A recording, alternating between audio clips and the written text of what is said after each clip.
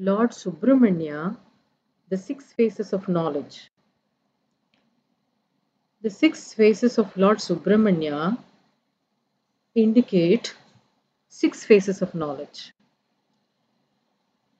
He is also known as Arumuga, the god of war, the potent form of energy. How do the six faces of God Subramanya relate to a human's life?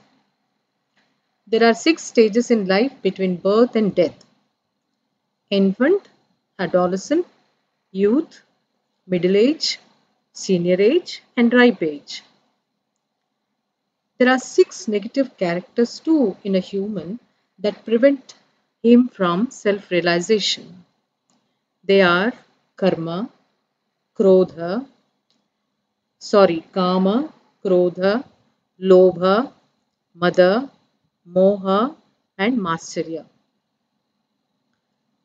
which in turn in English are known as lust, anger, greed, arrogance, delusion, and jealousy. Arishadvargas is the term in Sanskrit which means the six enemies of a rational thinking mind that denies the soul to attain moksha. There are six potent energy chakras in a human body that can propel a person to attain salvation. And they are Muladhara, Swadhisthana, Manipura, Anahata, Vishuddhi and Agya. The final one is the Sahasrara. These are the gateways for a human to enter at their own will to escape the perils of life. Lord Subramanya is that form of potent energy. His six faces educate us to self realization with the six common negativity in our characters.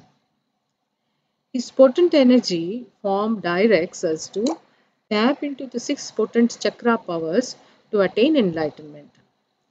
The state of oneness, that is, when the mind, body, and the soul sync to find the oneness at the Sahasrara.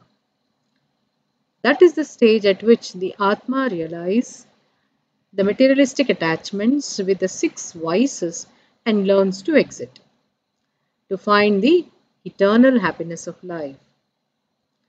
I soulfully prostrate in front of Lord Arumuga and seek his guidance to walk the soulful path of attaining moksha.